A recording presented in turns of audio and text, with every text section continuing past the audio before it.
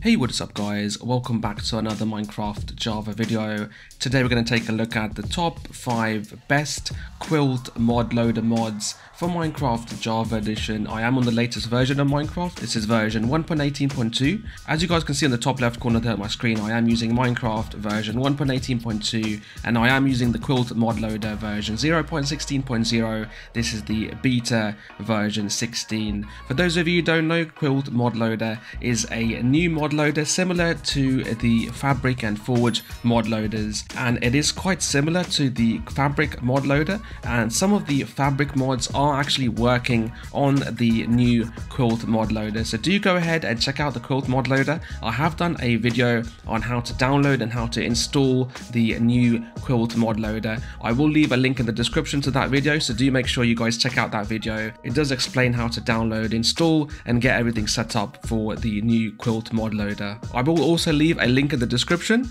which will have links to all of the different mods which I am going to show you guys today. So do make sure to check out that link as well. Alright, so let's go ahead and check out the top 5 best Quilt mods for Minecraft Java Edition version 1.18.2. The first best quilt mod which I would recommend you guys check out is called Custom Splash Screen. And this is a really cool mod which allows you to change your loading screen. So whenever you start up Minecraft or whenever you guys are loading a resource pack or a texture pack you guys will be able to change the screen which it shows you when it is loading. I would recommend that you guys get the mod menu mod which will work with the quilt mod loader. And it's going to allow you to actually configure different mod settings for your mods and after you have got the mod menu mod, you will notice that you do have a mods button in your game menu. And if you click into it, you will be able to click into different mods. And then you will have this button over here, which says configure. So go into that button and you will be able to configure loads of different settings for your particular mods. And for the custom splash screen, we are able to change loads of different options here. You guys can see that we can actually change the progress bar type, background image, logo style. And if I actually expand this texture location section here, we can actually go ahead and change the different image files as well. So as you guys can see, this is using the PNG format here and we can actually go ahead and change these settings as well. Let me just show you guys a example of what the loading screen looks like after it has been configured and changed from the default Mojang red loading screen. So let me go into options here, click on resource packs and let me just disable this programmer art resource pack here and click on done. As you guys can see, the loading screen is different there. It looks quite cool in my opinion. We have gone ahead and changed the background settings there as well. So you guys can go ahead and do that and play around with this mod. It's called Custom Splash Screen and you are able to use this on the new Quilt mod loader on version 1.18.2. The next Quilt mod I would recommend you guys check out is called Iris Shaders. And as you guys saw earlier in the video I did have some shaders enabled. And as you guys can see behind me I do have a really nice looking water there with some nice reflections. And we do have some really cool sun effects as well. We have shadows in here, we have moving grass and moving trees as well. So the leaves on the trees are moving and everything just looks really nice. And we do have custom clouds as well. So as you guys can see we do have some nice looking realistic clouds there as you guys can see. And the good thing about using iris shaders is that in the recent update we have been able to configure our shader options. So if I go into my options menu here click on video settings we do have a shader packs button on the top right here. If I click into that you guys can see that I am using the Sildur's vibrant shaders. This is version 1.32 extreme edition. And as I mentioned we do have a button here that says shader pack settings. If I click into this button I can go ahead and change loads of different options for my different shaders as well. Some shaders do have profiles as well, so you can actually select through different profiles like low, medium, high and extreme on some of the other shader packs like for example complementary shaders has some nice profiles with that shader pack. So you can actually go ahead and change loads of different settings. We weren't able to do this before but now with the recent updates for iris shaders we have been able to do this. Another mod that you will need with iris shaders is called sodium and after you have installed sodium you will see that we are able to see this menu over here, which is the sodium video settings menu, and we do have performance options in here as well. If I go into my mods menu here and click into the sodium mod, we can see it says sodium is a free and open source optimization mod for Minecraft, which improves frame rates and reduces lag spikes. So this mod actually complements the Iris shaders mod, where we can actually have shaders and we can have some nice performance in our Minecraft Java game, similar to if you were using Optifine. So do make sure that you guys check out the Iris shaders mod and do make sure that you guys also get the Sodium mod, which is going to give you some nice performance boosts inside your Java game. The next Quilt mod I would recommend you guys check out is called Loading Tips. Now similar to other games, when you do have a long loading screen, it does actually show you tips about the game on a particular corner or in the center of the screen and this mod basically does the same thing. So let me actually create a brand new world here. Let me actually quit out of this and let me go into single player. I'm now going to go ahead and create a brand new world and just check out on the bottom left there. It does give you some cool tips about Minecraft and this is similar to other games and it's a neat effect so if you guys are loading into your worlds and sometimes it can be a bit boring looking at that loading screen, then we can have some tips which you can actually read and it can help you out about the game as well. So let's create a new world and let's take a look at those tips.